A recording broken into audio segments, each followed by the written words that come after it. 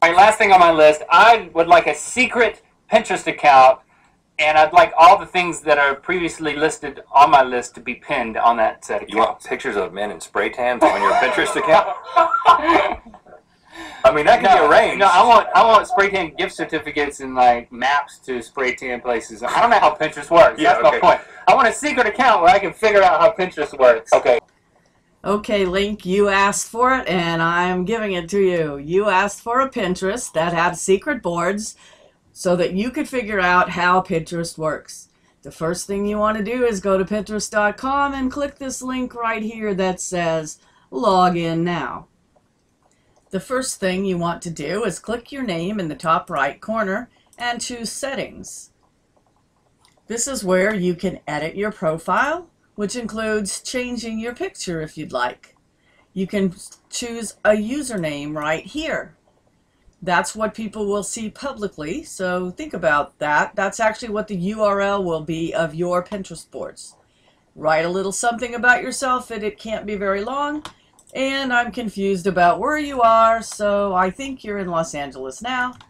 And I'm going to change that to Los Angeles. You, of course, know where you are, and you can change that to whatever you like. Don't know which one of your websites you wanted, so I put something in there, and I'm going to save that profile. One thing you will probably want to do is turn off mail notices. They, they send you a whole lot of mails every time somebody does something. And so right here it says email notifications, get email notifications. You would want to click no. Make sure it says no. Okay, social networks, you can cook, connect your other social networks in. I'm actually going to go and unconnect mine. So I don't really recommend that you do that. Each social network should be a castle to itself, if you will. Click Save Settings. For reasons Pinterest only knows themselves, it's very hard to figure out where to get the buttons to make it easy to pin what you find on the internet. They're kind of buried. You want to click on these funny little bars right here in the top left corner. Click About, go to the About page, and on the About page, you click Goodies, and then you have to scroll way down on the Goodies page and look for, these are apps if you want to put it on your smart devices. You want the Pin It button. You click Install Now, and I'm going to allow that to install itself on Firefox. I'm going to say I trust it, install now.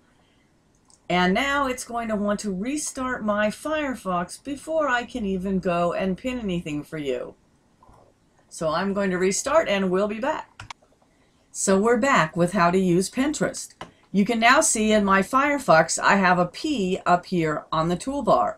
There are other it buttons, one for each browser, different ones for various smart devices. So now we can actually go visit a web page and use that P button to add something to your Pinterest. Now before we do that, if you click on your profile and pins, you'll probably want to create some boards. So based on what I know about you, I created a Mythical Beasts board, a Spray Tans board, and a Toe Socks board. That just gives us a place to start and they're for illustration purposes. You can always remove and replace anything that you place on Pinterest. Okay, so we can go and use our favorite search engine to find a site that we'd like to pin. We have to have an image in order for Pinterest to work. So here is a site that does mobile spray tanning in Los Angeles. We can click the P button and hope that it finds an image we can pin. Now there is a gift card someone could give you so that you can get that spray tan you've always wanted. We go to pick our board. We place the cursor over the board we want to use, in this case spray tans, and then we want to give it a better description.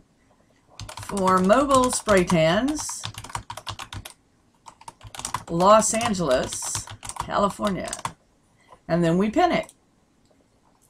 Now if we're quick, we can see it now. And we'll go and look at your board. And now we have that pin on your board.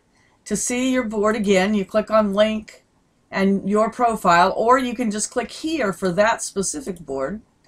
And so we now have two images on your spray tans board. One is in North Carolina and one is in Los Angeles. So that's how you add something that is not already on Pinterest. The easiest way to use Pinterest, though, is to see what other people have pinned already. So we could type in toe socks, for example, and get some great results. We can eh, instantly see what other people liked, which kind of toe socks. We can click on the heart and it turns red if you like it, and click pin it. Let's actually pick a different one. I don't know which ones I've already pinned. So I'm going to click a heart on this one, click pin it. We're going to choose our toe socks board. Make sure there's some kind of description that, that lets people know what's in that photo and click pin it. You may want to follow the person that pinned it originally and then click see it now. The reason that you would want to follow the person that originally pinned something is so that you could could find your followers. For example, you might have noticed I created a board for Mythical Morning, Mythical Beasts. And so you could go search for Mythical Beasts or Mythical Morning, find what other people have already pinned, heart it, add it to your board, and then follow them because you know they're your fans, they're pinning your stuff. Now you mentioned you wanted secret boards so that you could learn to use Pinterest. I actually made your toe socks boards public and I made your um, tanning, spray tanning board public and your Mythical Beasts board. You can always click on Pinterest to see the latest pins that you've made and what other people have made that you follow. If you click on your name and click on your profiles, you can see what boards you have. And if you scroll down, you'll see that you can have secret boards. So you could have Link's secret wish list board, and whatever you put in here, only you can see. You might recognize that building.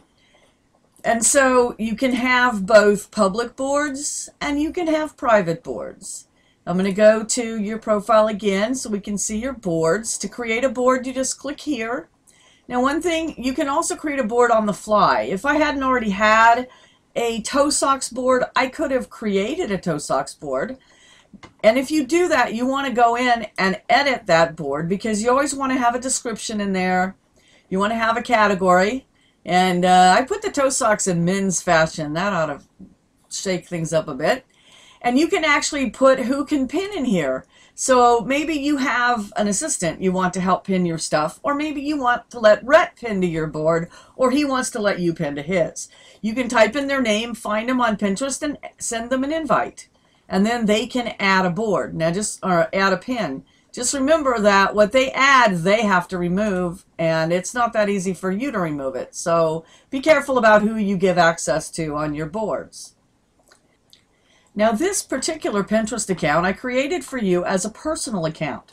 They also have business accounts. So if you have a business, or if you wanted to create a separate account for Rhett and Link, you would want to create a business account, not a personal account. And they're a little bit different, but basically just search for Pinterest for business and you can create an account for each if you like. Now Pinterest is pretty easy to learn how to use because there's a lot of Pinterest how-tos on Pinterest. Practical place to put them. So if you click on Pinterest how-to, you notice that there are pins, there are also boards, and you can see some of the boards here. This board happens to be mine. It's pretty popular. So you can follow this group Pinterest how-to board, and it has pinned to it all kinds of tips on how to get the most out of Pinterest, especially if you're using it for your business or an e-commerce site, whatever else you might want to promote. The three little people up here tells you that is a group board. In other words, I have given other people the capability of pinning to it. And so I have all the other collaborators I have actually offering their tips on this one board as well. When you don't see that, then that's a private board one person created. This is a group board many people created. You can also do a search and click on pinners so you can find out who is pinning on that topic. Obviously, you didn't find all the people we just saw on the How to Pinterest boards, so this doesn't always work as well. If you're looking for a particular person, then you can type in that person or what they're commonly known as online and find them. For example, this is Crystalline Comp. She is very well known and she's a great example of how to do Pinterest well. Her site gets 50 to 60,000 visitors a month just from Pinterest. And so it's a great example. If you have a business, this is how you should do Pinterest well. How you should organize your boards, what kind of images to use, what kind of images to use as the image for the board. We saw that earlier when we were looking at your boards. When you're looking at a board, you can change the cover. And what that means is you can pick one of the pictures that's on that board and save that so that when you refresh, that will be the picture that is showing up on that board. So you want to pick the strongest thing you've pinned to show up for every one of your boards. So I could go and look at this board, look at all these pictures, and you notice I accidentally pinned that twice. So I can hit edit and I can delete it. Now you want to do that right away if you can because you don't want to delete one that's already got likes on it. So you can see that we have lots of cool toe sock related items on this board, including some finger socks to match some toe socks and a toe sock monster. These toe socks everyone had. I had some of those. Can't imagine why, but I did. So when you want to see all your boards, look at your name, point at it, click on settings, I'm sorry, click on your profile and pins. And that shows you your boards. Click on Pinterest to see a lot of new stuff. Type something into search to find something that will interest you. And be sure to heart, comment, and repin whatever interests you. That's like giving votes to the person you borrowed it from. Well, that's pretty much the basics of Pinterest. There's a lot more to know, of course, if you want to use it for business. And I'm happy to answer any questions you may have. Just give me a shout. The easiest way is on Skype add me on Skype. I'm Growmap, G R O W M A P. I'm Growmap everywhere. Growmap on Twitter at Growmap. I created this count just for you. If you would like to have it to take over as your own, just get in touch with me and I will give you the password and you can change the email address and password and there you go. You've already got your very own personal Pinterest account.